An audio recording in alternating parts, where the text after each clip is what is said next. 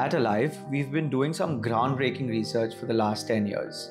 Regenerative medicine is an upcoming pillar of medicine that we have been working on to develop protocols for various applications.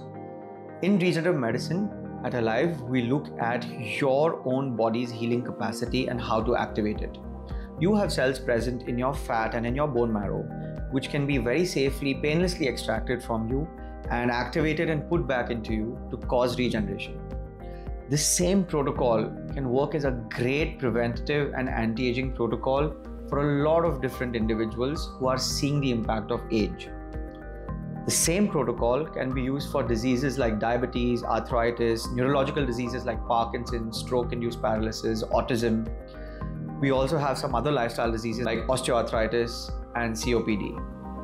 All in all, regenerative medicine and autologous cell therapy, where your cells are extracted from you and put back into you, is an upcoming therapy across the globe which can be used for regenerative benefits for a lot of different individuals. Whether you just want to slow down your aging or you want to look at some lifestyle impacts and lifestyle diseases.